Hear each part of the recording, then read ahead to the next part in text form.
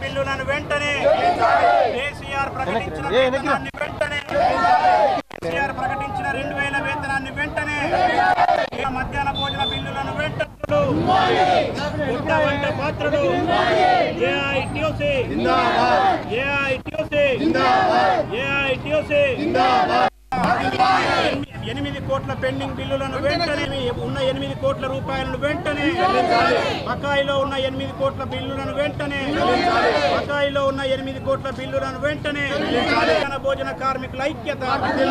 మధ్యాహ్న మధ్యాహ్న భోజన కార్మికుల ఐక్యత. కేసీఆర్ ప్రకటించిన వేతనాన్ని వెంటనే.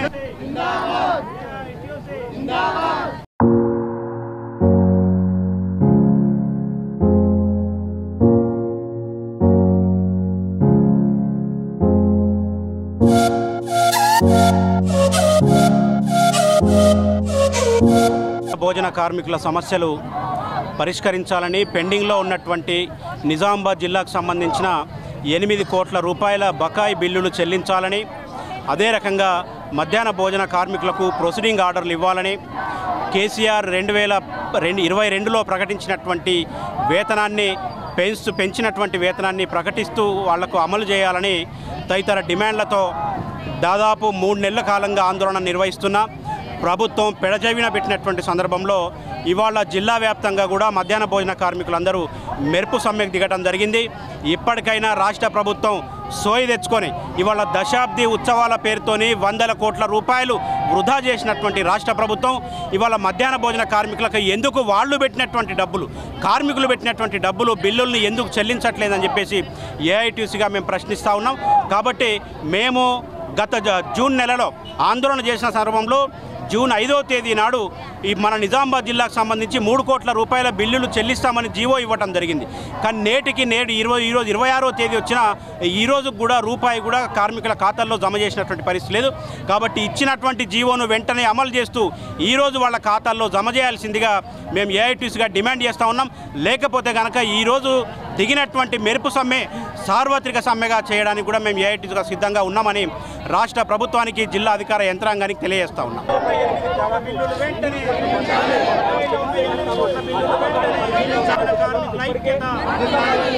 భోజన కార్మికుల ఐక్యత మధ్యాహ్న భోజన కార్మికుల ఐక్యత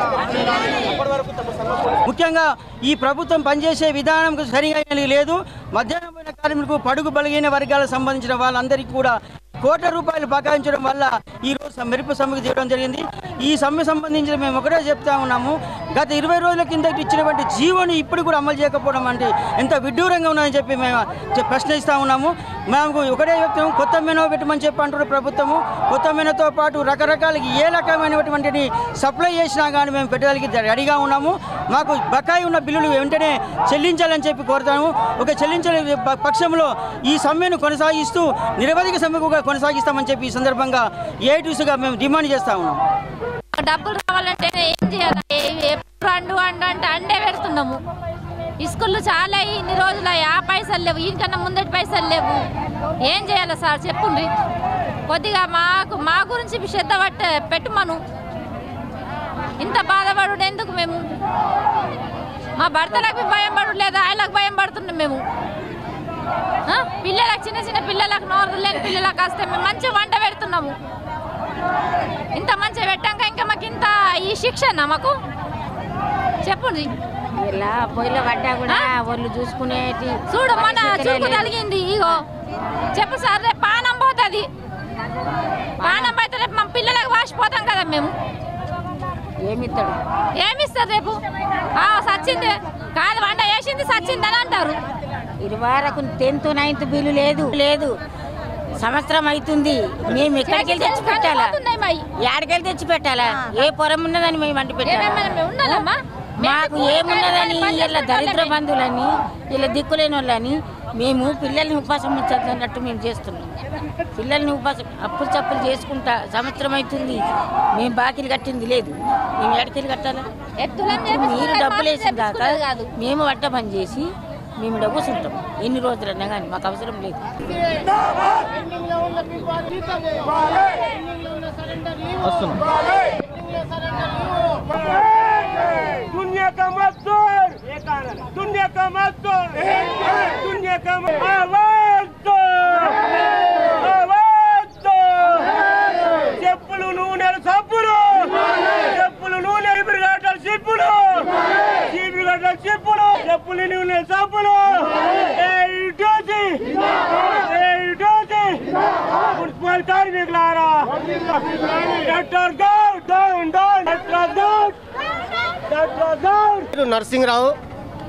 పబ్లిక్ హెల్త్ వర్కర్స్ యూనియన్ ప్రధాన కార్యదర్శిని. ఏదైతే ఈరోజు మున్సిపల్ కార్మికులు ఎదుర్కొంటున్న సమస్యలపైన ఈరోజు కొత్త కలెక్టరేట్ ముందు ధర్నా నిర్వహిస్తున్నాం. ముఖ్యంగా పర్మనెంట్ కార్మికులకు సరెండర్ లీవ్ బకాయిలు ఉంది. ఇప్పటికి సమ పోయిన సంవత్సరం గడిచింది ఈ సంవత్సరం కూడా అర్ధ సంవత్సరం అయింది. అయినా కానీ ఈ గవర్నమెంట్ దాన్ని పాస్ చేయకుండా అట్లనే పెడుతున్నారు పెండింగ్లో పెడుతున్నారు. దాని అదే కాకుండా ఫిబ్రవరి నెల జీతం అరవై ఆరు మంది జీతం ఇంకా రాలేదు. అది కూడా పెండింగ్లో ఉంది. దా అది అదొక విషయము. ఇంకోటి పర్మనెంట్ కార్మికులు నాణ్యత గల బట్టలు ఇవ్వాలి. ఇవ్వాల్సి ఉంది జీవో ప్రకారంగా. కానీ నాసి రకంగా చీరలు కానీ ఇగో డ్రెస్సింగ్లు కానీ ఈ స్కూల్ పిల్లలకు ఇచ్చేటటువంటి ఈ యూనిఫామ్ ఇవ్వడం ఇది ఎంతవరకు కరెక్ట్ అని చెప్పేసి ఎంతవరకు కరెక్ట్ అని చెప్పేసి మేము అడుగుతా ఉన్నాం గవర్నమెంట్ను. ఈ నగరపాలక సంస్థ అధికారులకు మేము ఒకటే చెప్తా ఉన్నాం. జీవో ప్రకారంగా ఏది ఉంటే అది ఇవ్వాలా మీరు? అది మీ బాధ్యత. అది కాకుండా మీ ఇష్టం ఉన్నట్టు మీరు ఇస్తే కట్కాసుకుంటారా కట్కాసుకోరు? లేకుంటే యూనిఫామ్ వేసుకో వేయకపోతే మాత్రం మీకు మీకు డ్యూటీలో తీసుకోమని చెప్పేసి ఈ రకంగా వేదన వేధిస్తున్నారు కాబట్టి ఈరోజు కలెక్టరేట్ ముందు మా గోడు వినిపించుకోవడానికి కలెక్టర్ గారికి వద్ద వచ్చినాం. ఏదైతే నాణ్యతలో నాణ్యత లేకుండా ఇట్లాంటి బట్టలు ఇచ్చి మమ్మల్ని ఇబ్బంది పెడుతున్న అధికారులకు ఒకటే చెప్తా ఉన్నాం. రేపు రేపు ఈ బట్టలు కనుక వాపస్ తీసుకొని మాకు ఇచ్చేటటువంటి బట్టలు ఇవ్వకపోతే మాత్రం పెద్ద ఎత్తున ఆందోళన దిగ దిగవలసి పెద్ద ఎత్తున ఆందోళన చేస్తామని చెప్పేసి అధికారులకు చెప్తా ఉన్నాం. అవుట్సోర్సింగ్ కార్మికులకు ఇరవై ఆరు వేల రూపాయలు ఇవ్వాలని సుప్రీంకోర్టు తీర్పు రకంగా సమాన పనికి సమాన వేతనం ఇవ్వాలని ఎన్ఎంఆర్ కార్మికుడు చనిపోతే వారి కుటుంబ సభ్యులకు ఒక ఉద్యోగం ఇవ్వాలని అట్లాగే వారిని రెండు వందల పన్నెండు జీవోను అనుసరించి ఆరు నెలలు సర్వీస్ మినహాయించి వారిని రెగ్యులర్ చేయాలని అట్లాగే వారు చనిపోతే మట్టి ఖర్చులు ఇవ్వడం లేదు ఇప్పటికి కూడా వారికి మట్టి ఖర్చులు కూడా ఇవ్వాలని చెప్పేసి తదితర డిమాండ్లతోని ఈరోజు ధర్నా చేస్తున్నాం కాబట్టి అధికారులకు ఒకటే చెప్తా ఉన్నాం. మాకు ఇచ్చేటటువంటి బెనిఫిట్స్ కానీ వచ్చేటటువంటి మాకు వచ్చేటువంటి బకాయిలు ఉన్నాయి అన్నీ కూడా వెంటనే ఇవ్వాలని లేకపోతే పెద్ద ఎత్తున ఆందోళన చేయడానికి సిద్ధంగా ఉంటామని చెప్పేసి ಎಚ್ಚರಿಸ್ತಾ ಉನ್ನ